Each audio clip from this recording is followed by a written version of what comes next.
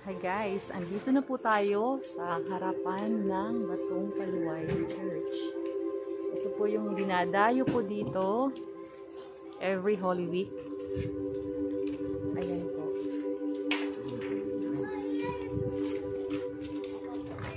Kapasok po tayo guys. Actually, yung simbahan po nakasarado. Sarado pero pumunta po tayo dito para para mag um, mag-alay na lang po ng dasal. Uh, magsindi ng kandila